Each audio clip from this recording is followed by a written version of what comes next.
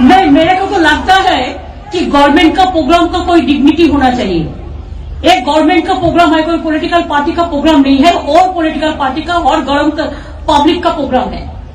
मैं तो आभारी हूँ प्रधानमंत्री जी का कल्चरल मिनिस्ट्री का, कि आप लोगों ने कोलकाता में प्रोग्राम बनाया।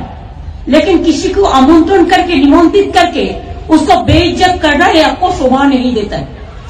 मैं फिर आप लोगों को कहेंगे ई on protest of that I am not telling anything जय हिंद, जय बांग्ला।